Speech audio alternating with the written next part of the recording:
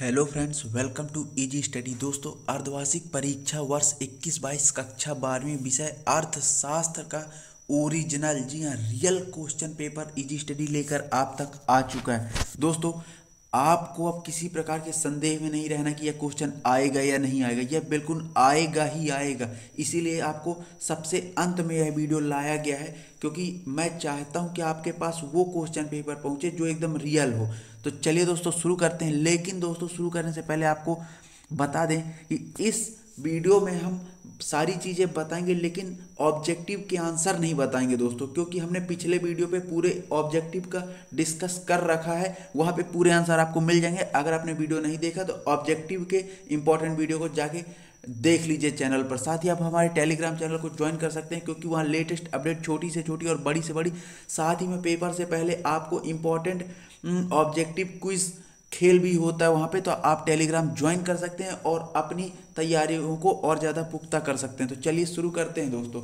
तो सबसे पहले देख लेते हैं, सही विकल्प पहला है वेष्टि अर्थशास्त्र में सम्मिलित होती हैं। तो अब क्या सम्मिलित होती हैं? ये चीज़ें आपको बताना है, क्योंकि हमने पूरे ऑब्जेक्टिव का वीडियो बना के रखा है। तो आप लोग उसको ज़रूर देखिए, क्योंकि वहीं से आपका 28 में से 25 नंबर वहीं क्लियर हो जाएगा। सेकेंड क्वेश्चन है दोस्तों, निम्न में से किस, निम्न में से किस अर्थव्यवस्था में निजी क्षेत्र एवं सार्वजनिक क्षेत्र का सह अस्तित्व पाया गया है। मैं आपको क्वेश्चन इसलिए पढ़ के बता रहा हूँ क्योंकि आपको क्वेश्चन में किसी प्रकार की कोई प्रॉब्लम ना आए।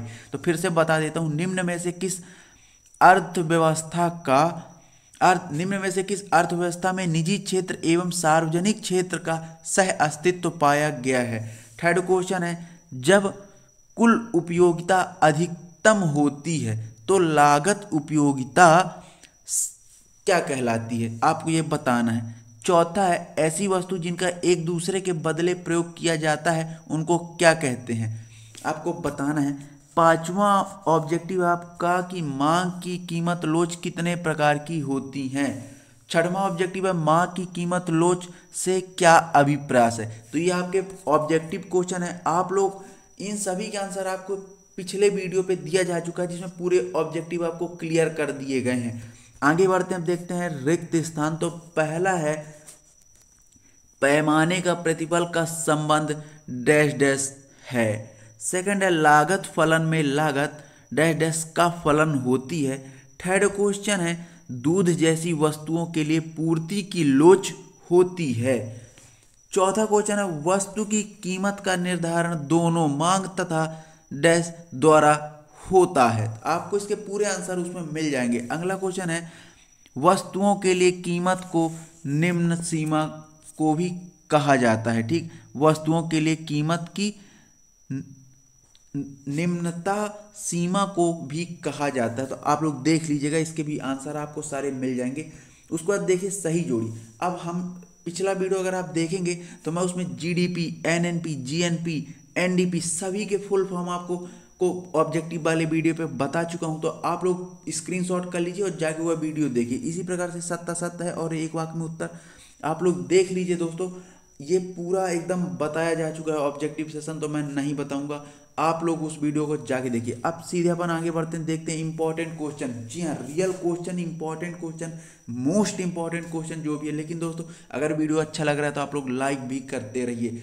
तो चलिए देख लेते हैं, छठवा क्वेश्चन कहता है, बाज़ार अर्थव्यवस्था किसे कहते हैं? इसी में अथवा व्यष्टि अर्थशास्त्र का अर्थ लिखे सातवां क्वेश्चन उपयोगिता किसे कहते हैं? इसी का अथवा सीमांत उपयोगिता का अर्थ लिखिए। आठवां क्वेश्चन, सामान्य वस्तु किसे कहते हैं? इसी का अथवा है, निम्न स्तरीय वस्तु किसे कहते हैं? आगे बढ़ते हैं, हम नौवा क्वेश्चन देखते हैं। उत्पादन फलन का क्या अर्थ है? अथवा में कुल उत्पादन से क्या अर्थ होता है? दसवां क्वेश्चन है आपका, बाज़ार का अर्थ लिखिए। अथवा पूर्ण प्रतियोगिता, बाज़ार का अर्थ लिखिए। ग्यारहवा क्वेश्चन है, पूर्ति का अर्थ लिखिए। अथवा पूर्ति की लोच किसे कहते हैं? बारहवा क्वेश्चन है, श्रमिक की मजदूरी दर किसे कहते हैं और अथवा है पारिवारिक क्षेत्रक किसे कहते हैं? तेरहवा क्वेश्चन है, मध्यवर्ती वस्तु किसे कहते हैं अथवा पूंजीगत वस्तुएँ किसे कहते हैं? चौदहवा क्वेश्चन है, मुद्रा का अर्थ लिखिए अथवा व्यावसायिक बैंक किसे कहते हैं? पंद्रवा है, समय मांग का अर्थ लिखिए अथवा गुणांक किसे कहते हैं? सोलवा क्वेश्चन है, सकारात्मक तथा आदर्शक अर्थशास्त्र में तीन अंतर लिखिए अथवा व्यष्टि अर्थशास्त्र की तीन विशेषताएँ लिखिए। सत्रवा क्वेश्चन है, पूर्ण प्रतियोगिता की तीन विशेषताएँ लिखे अथवा पूर्ति को निर्धारित करने वाले तीन तत्व लिखिए। अठारहवां क्वेश्चन है, प्राथमिक तत्व द्वितीय क्षेत्र में अंतर लिखिए। प्राथमिक तथा द्वितीय क्षेत्र में अंतर अथवा राष्ट्रीय आय की गणना आय विधि का संक्षेप में वर्णन कीजिए। उन्नीसवा क्वेश्चन है, मुद्रा के प्राथमिक कार्य को समझाइए अथवा व्यापारिक बैंक के तीन कार्य लिखे। तो ये दोस्तों आपके कुछ इंपॉर्टेंट क्वेश्चन है दोस्तों सेम रियल क्वेश्चन उम्मीद करता हूँ वीडियो आपको बहुत अच्छा लगा होगा। एक बार फिर से बता दें ऑब्जेक्टिव के आंसर हमने इसलिए नहीं बताया क्योंकि हमने ऑब्जेक्टिव का पूरा डिस्कशन एक वीडियो पे कर चुके हैं। तो वहाँ पे आप लोग जाइए, आपके पूरे ऑब्जेक्टिव क्लियर हो जाएँगे। यहाँ पे हमने सिर्फ़ एक बार आपका रिवीजन करवा दिया, दोबारा दिखा दिया।